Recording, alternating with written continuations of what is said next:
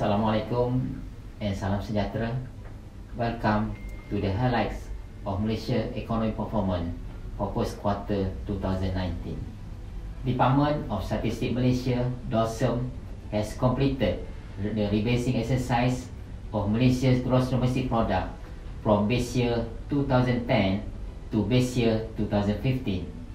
Thus, the real GDP growth now is measured in 2015 prices. In the first quarter of 2019, Malaysia's economy grew 4.5%. On external sectors, Malaysia current account surplus surged to 16.4 billion ringgit. In terms of investment, FDI accelerated to 21.7 billion ringgit from 12.9 billion ringgit in previous quarter.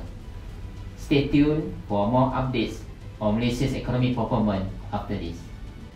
According to World Economic Outlook by IMF, the global economy is projected to grow at a slower pace 3.3% in 2019 and 3.6% in 2020.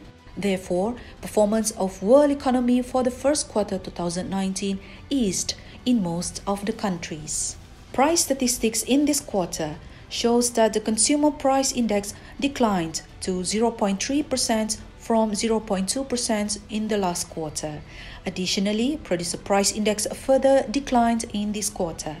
Services of producer price index SPPI remain unchanged at 0.6%. Main economic indicators grew moderately in this quarter. Index of services grew at 6.5%. Meanwhile, the moderation in industrial production index were contributed by manufacturing, which grew at 4.0%, and a decline in mining and quarrying. Besides that, labor market condition remained favorable. The labor participation rate improved to 68.7% with unemployment rate remained stable at 3.3%. Looking at the scenario for the first quarter 2019, all sectors recorded positive growth except for mining and quarrying on the supply side.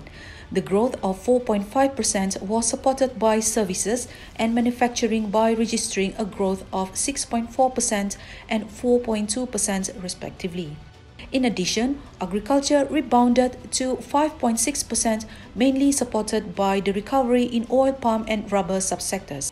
Meanwhile, construction recorded marginal growth of 0.3% in this quarter.